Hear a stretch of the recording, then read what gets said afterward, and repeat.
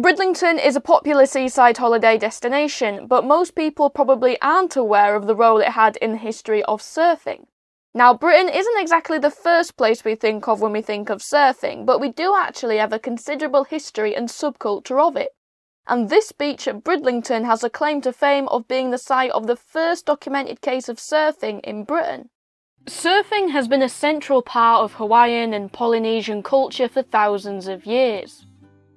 Yorkshireman Captain Cook was the first documented European to make contact with the islands, and in 1779 his crew reportedly jumped overboard to join the locals at surfing, thus becoming the earliest recorded account of Europeans trying out this ancient practice.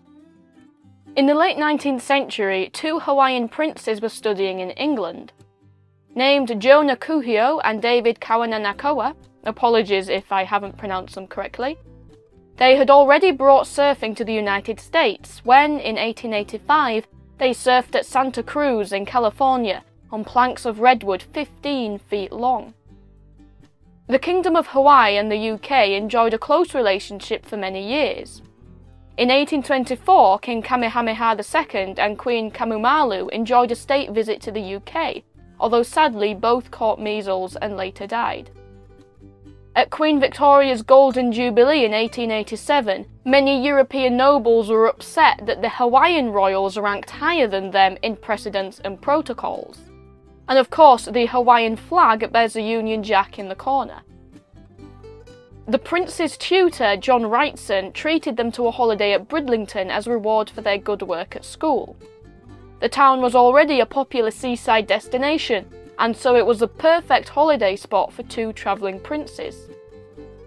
As Kuhio described in a letter to the Hawaiian consul in September 1890, we enjoy the seaside very much and are out swimming every day. The weather has been very windy these few days and we like it very much for we like the sea to be rough so that we are able to have surf riding. We enjoy surf riding very much and surprise the people to see us riding on the surf.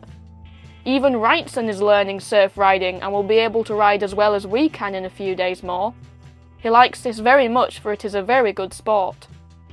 Over the next few decades, surfing would grow in popularity across the UK and US, exploding as the latest craze in the 1920s, with crime writer Agatha Christie and even the future King Edward VIII taking up the board. Now, before I finish, how could I visit Bridlington without taking a trip to Sewerby Hall, home of some of Amy Johnson's very own personal belongings. So there you have it. Surfing may be associated with California surf rock and sunny Australian beaches, but Yorkshire can have its claim to fame as well for being the location of the earliest recorded surf in Britain.